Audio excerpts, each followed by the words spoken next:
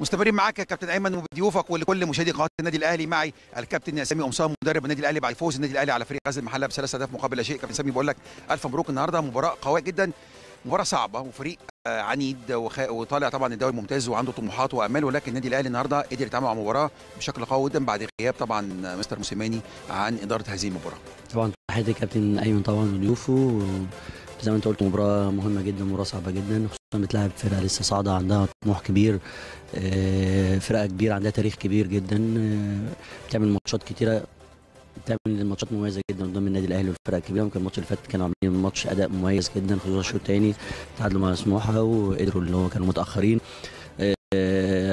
طبعا آه، تأثرنا شوية طبعا بعدم وجود مستر موسيماني لكن الحمد لله كان عندنا ثقة طبعا في كل الناس اللي موجودة. واللعيبة أدت أداء كويس جدا خصوصا الشوط الثاني الحمد لله كان عندنا فرص كتيرة.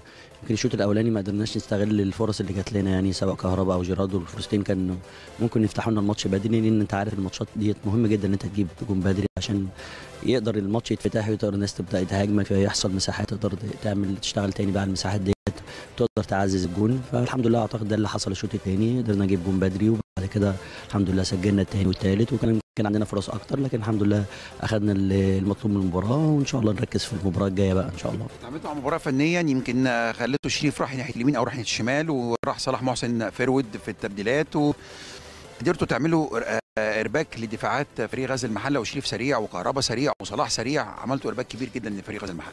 ويمكن ده اللي إحنا بنشتغل عليه من أيام برضو مستر موسيماني يعني هو بيشتغل على دوت لأن ده أسلوب لعب يعني مش هيتغير. إحنا بن- بنكمل شغل الراجل وده الحاجات اللي هو بيشتغل عليها في التمرين والحمد لله كان مردودها موجود يعني.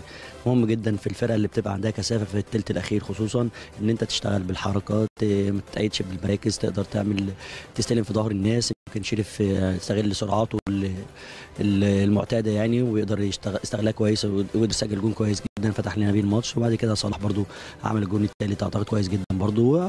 فالحمد لله مردود كويس وإن شاء الله منتظرين مزيد أكتر إن شاء الله بدأوا النهارده بعمرو السولية ولكن شعر بكدمة يمكن في التمرين امبارح. والنهارده شعر بيها فما قدرتوش تبدأوا بيه. فبداتوا بحمدي فتحي مع اليو ديانج وما حسناش بغياب عمرو السولية النهارده. آه، زي ما أنت قلت الثلاثه على أعلى مستوى معاهم كمان أكرم. طبعا الحمد لله من من أفضل الأماكن اللي عندنا فيها كثافة عندنا فيها لعيبة كويسة ومميزه ما بنقلقش من أي حاجة. سولية لعيب مميز جدا وعنده خبرات كبيرة جدا واعتقد عمود من اعمده الفرقة يعني. يمكن عندنا منتخب مصر برضو عندنا مباراة مهمة كان مهم جدا إن إحنا نحافظ عليها. يمكن زي ما أنت قلت هو شعر بشوية في التسخين يعني لكن الحمد لله قدرنا نغير. لا لا إن شاء الله ممكن ياخد اليومين الراحة دلوقتي يفرقوا معاه طبعا وإن شاء الله يبقى معانا ماتش أفريقيا بإذن الله. النهارده بنشوف بيكهام بي بيلعب أكرم بيلعب كله بيلعب حتى ياسر كمان بتنزلوه النهارده ال rotation كويس جدا مع ضغط المباريات بتتعاملوا مع التبديلات ولا أروع الحمد لله برضو ده من خلال برضو الراجل الراجل اللي متواصل معانا على طول يعني مهم جدا زي ما أنت بتقول اللي بقى عندنا في كل. في كل مكان لعيب واثنين إحنا بنلعب من أكتر فرق آه، إحنا والفرق طبعا اللي بتلعب في أفريقيا من أكتر فرق بتلعب ماتشات بتخش في حوالي حاجة و50 ماتش. يعني مهم جدا إن أنت تعمل rotation كويس مهم جدا لأن ال rotation ده غير اللي هو بيريح لعيبة بيعمل برضو آه، منافسة كويسة بين اللعيبة وده وده المطلوب يعني. أنت بتلعب على كل البطولات مهم يكون عندك لعيبة في نفس المستوى البديل مهم جدا يعني. فأعتقد الحمد لله. النهارده بيكهام بيشارك لأول مرة حاجة كويسة. أكرم برضو بيواصل. آه، صلاح محسن نفس القصة. آه، أحمد ياسر ريان في بدايه برضو الحمد لله أعتقد لها كويسة. رجوع ديانج برضو ادانا قوة. ياسر إبراهيم طبعا ياسر لعيب من اللعيبة المميزة جدا واللعيبة الأساسية اللي موجوده في الفرقة يعني. فأعتقد الحمد لله دي من الحاجات الكويسة برضو اللي إحنا استغلناها النهارده في مباراة النهارده. مباراة صعبة جدا مع البطل النيجر هنسافر إمتى؟ هنتمرن بكرة ولا بكرة في أجازة ولا لسه برنامج متحضر؟ لا عندنا بكرة إن شاء الله أج- عندنا بكرة تمرين الصبح وبعد كده إن شاء الله نسافر يوم الأحد آه، وطبعا كل الشكر طبعا مجلس الإدارة برضو وفر طيارة خاصة.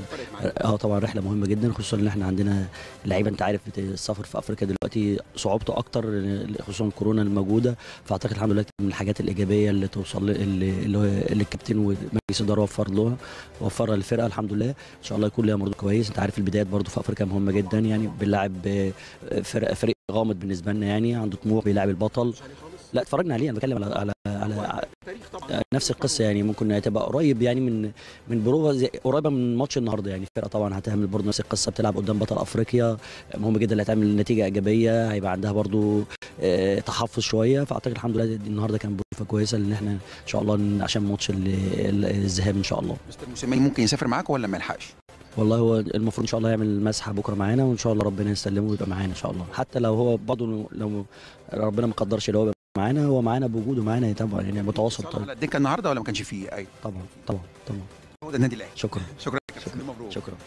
كابتن ايمن ده كان لقاءنا مع مدرب النادي الأهلي طبعا الخلوق ال- الكابتن سامي قمصان بعد الفوز الكبير على فريق غزل المحلة بثلاث أهداف مقابل لا شيء. مليون مبروك لحضرتك ولضيوفك ولكل مشاهدي قناة النادي الأهلي في كل مكان. دي كانت لقاءاتنا الخاصة لشاشة تميز شاشة قناة النادي الأهلي بعد الفوز الكبير للنادي الأهلي على فريق غزل المحلة بثلاث أهداف مقابل لا شيء. عودة ليك من جديد.